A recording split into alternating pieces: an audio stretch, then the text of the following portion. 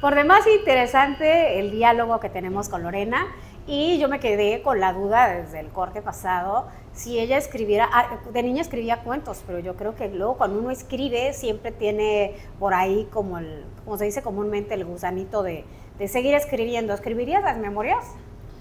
Mira, escribiría unas memorias post-mortem. Ah, Tendría que publicarse post-mortem. Dejarlo todo Porque cuando alguien, un político, escribe sus memorias, está obligado a decir la verdad.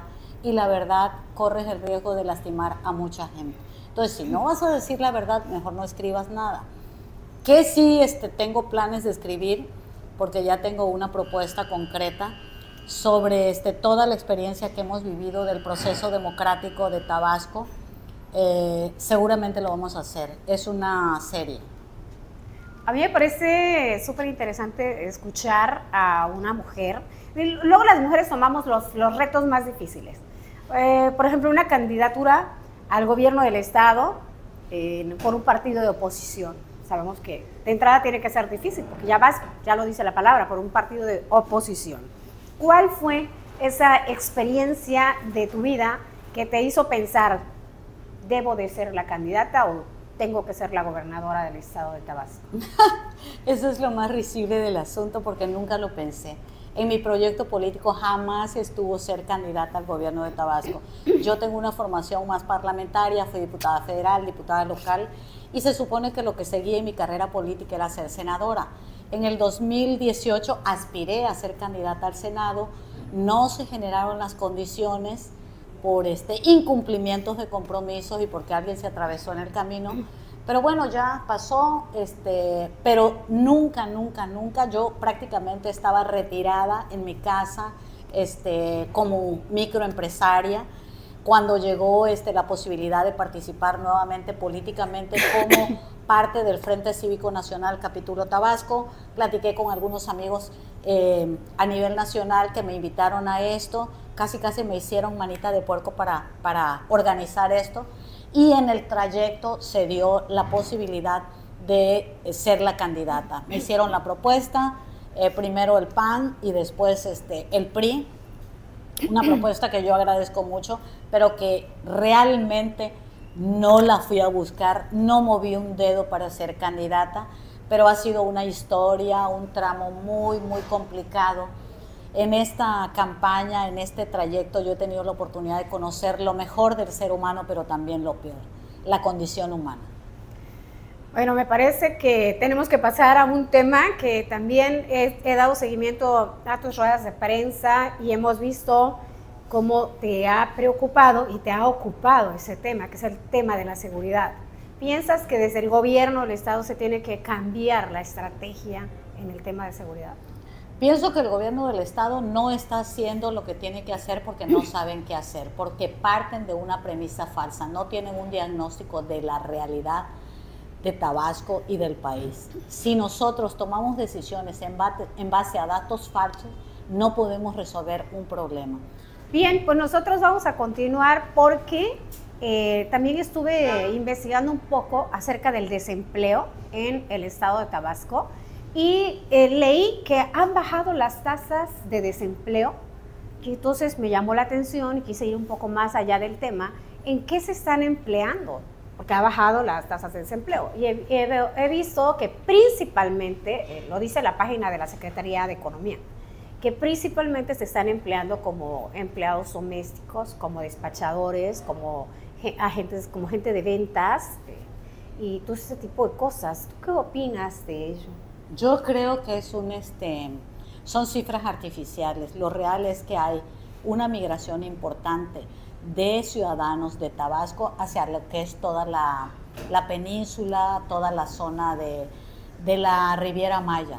Hay muchos ciudadanos que deciden emigrar o migrar de Tabasco y, para ir en busca de oportunidades de empleo en la zona de la Riviera Maya. ¿Qué es lo que han hecho? Si revisamos las estadísticas del Seguro Social, resulta que muchos empleados de este, jóvenes construyendo el futuro, resulta que están registrados en el Instituto Mexicano del Seguro Social y eso es lo que permite construir una realidad artificial en cuanto a las tasas de empleo. Las estadísticas no son reales. En Tabasco hay desempleo.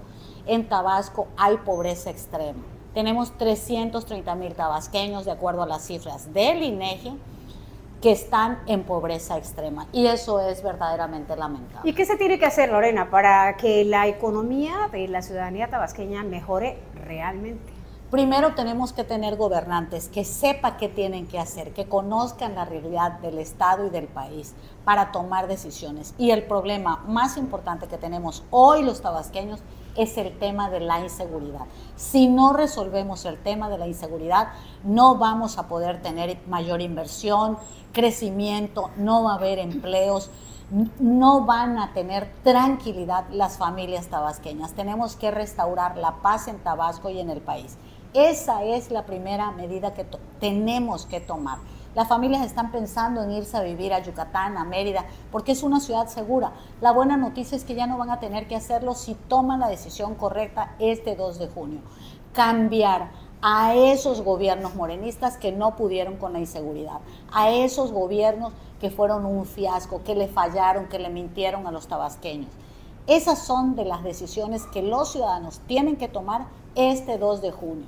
Cuando la política, la elección es la época en que los ciudadanos contratan a un gobernante como su empleado para gobernar el, Estado. ¿Qué es lo que tienen que hacer? En contratar al empleado perfecto, al empleado correcto, que sepa lo que tiene que hacer como gobernante, que conozca la realidad del Estado, pero sobre todo que esté preparado y que tenga sentido humanista, que tenga clara la película de lo que ocurre en Tabasco y en el país. Si los ciudadanos se equivocan, el riesgo es vivir en un estado inseguro, en un estado de corrupción, porque es con lo que Morena como gobierno no ha podido. Nos mintieron, nos engañaron y nos traicionaron. Y fue lo que dijeron que no iban a hacer y justamente es lo que hicieron.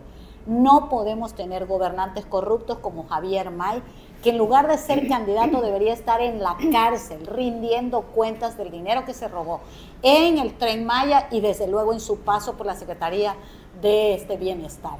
Y mira lo que son las cosas. Hoy quiere gobernar Tabasco para, ya descarriló el tren Maya y ahora quiere también descarrilar a Tabasco. Los ciudadanos tabasqueños no podemos permitir que eso ocurra. Y la solución es votar este 2 de junio por el PAN o por el PRI. Hay otro tema, yo he estado dando, de repente me gusta revisar las redes sociales y vi que hay un tema que trae a la gente muy preocupada, la de seguridad patrimonial. Voy a perder mi casa, este, qué va a suceder en el comunismo, no sé, todas estas cosas. ¿Hay realmente un cambio en la constitución? ¿Está sucediendo de verdad esto? ¿Tú estás inmersa en ello? Mira, hay la tentación del presidente López Obrador de cambiar la constitución, de cambiar el régimen patrimonial del país. Y esas son de los, esos son de los peligros que nosotros estamos alertando a la población. Por ejemplo, un presidente que manda una iniciativa para modificar la ley de amparo, que es uno de los logros nacionales de acuerdo a las eh, leyes internacionales, a los tratados internacionales, y va contra eso. Entonces yo espero que en materia de amparo haya se presente un recurso de inconstitucionalidad para que se quede abajo, se eche abajo eso. El tema del presidente quiere controlar la Suprema Corte de Justicia de la Nación, por eso la salida del ministro Saldívar para darle entrada a una recomendada de López Obrador como es Lenia Batres. ¿Para qué? Para controlar la Suprema Corte de Justicia de la Nación. En cualquier democracia del mundo hay pesos y contrapesos. Tabasco es un país de una estructura republicana, donde tenemos tres poderes en el Estado, que es la Suprema Corte de Justicia de la Nación, el Poder Legislativo y el Poder Ejecutivo, y se acotan entre sí. Entonces, ¿cuál es el recurso más importante que tenemos los mexicanos para garantizar justicia? Es la Suprema Corte de Justicia de la Nación. ¿Cuál es el poder más importante para garantizar equilibrio de poderes? Es el Congreso de la Unión. El presidente es proclive al autoritarismo, es proclive a descalificar todo lo que va en contra de sus opiniones. Por eso es importante que nosotros garanticemos organismos autónomos como el Instituto Nacional Electoral, como el Instituto de Transparencia y Acceso a la Información Pública, como la Comisión Nacional de Derechos Humanos. El presidente quiere desaparecer todos los equilibrios, los organismos autónomos, sobre todo el Instituto de Transparencia, porque gracias al Instituto de Transparencia nos hemos enterado de la corrupción brutal de los gobiernos de Morena en el país y en los distintos estados de la República. Bueno, eh, me quedan tres preguntas, me queda poco tiempo, no me quiero quedar con las preguntas yo, así que te las voy a ir diciendo lo, lo más rápido que me sea posible. Por ejemplo, otro tema igual muy sensible en la ciudadanía pues es la salud.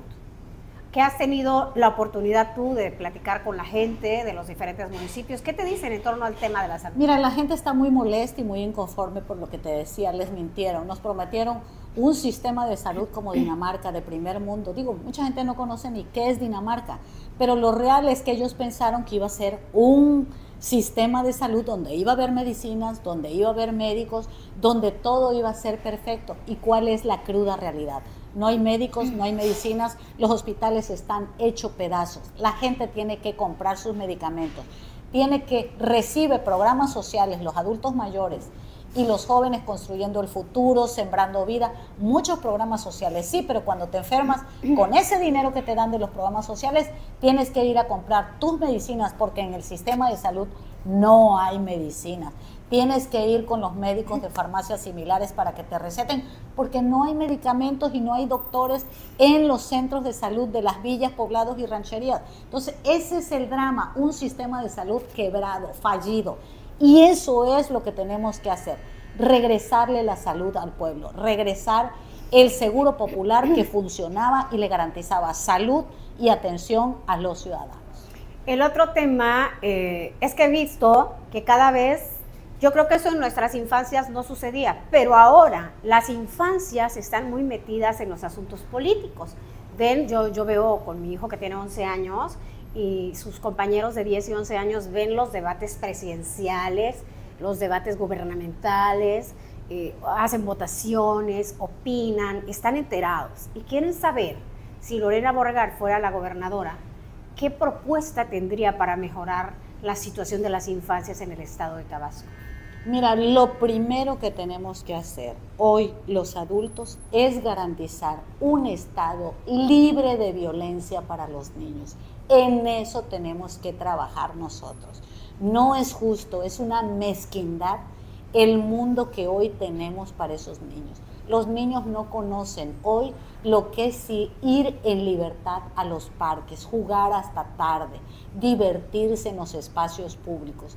Los niños están creciendo en un país y en un estado con miedo y eso es lo que no podemos permitir.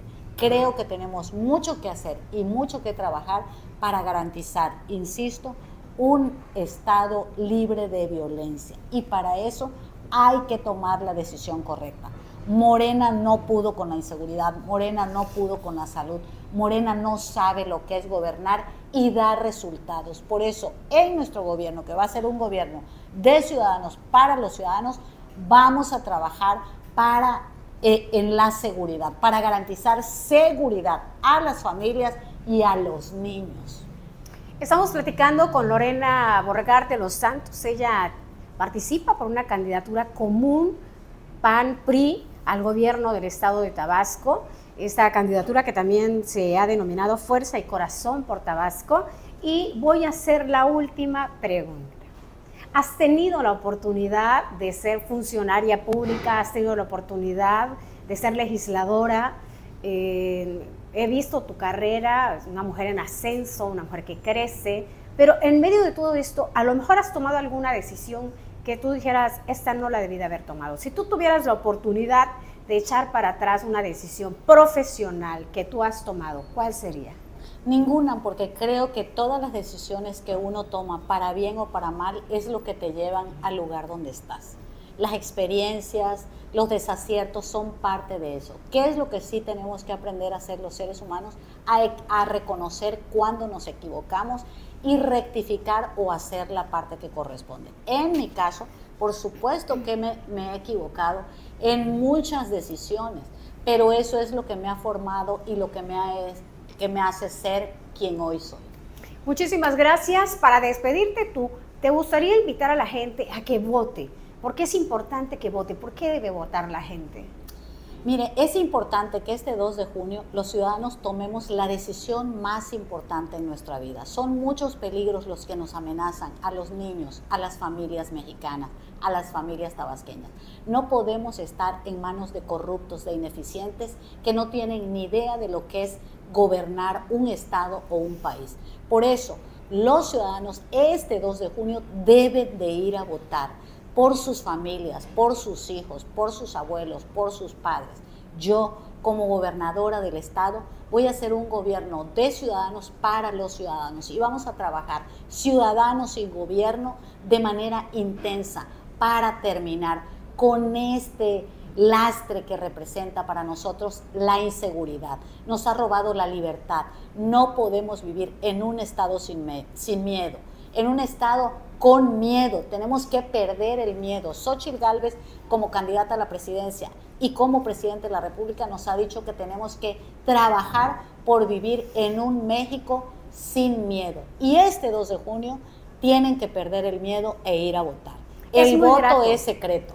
Gracias. Eso sí, hay que aclararlo. El voto es secreto, por eso la gente debe votar sin miedo. Para mí es muy grato escuchar los diferentes puntos de vista. La ciudadanía tiene derecho a estar enterada debidamente, a conocer los diferentes puntos de vista, las diferentes personalidades que participan en esta contienda electoral. Por eso Canal 10 de la Chontalpa tiene esta enorme responsabilidad de llevar a ustedes los diferentes puntos de vista. Acabamos de platicar con Lorena Borregar de los Santos. Yo soy Argelia Herrera Gutiérrez. Muchísimas gracias por acompañarnos.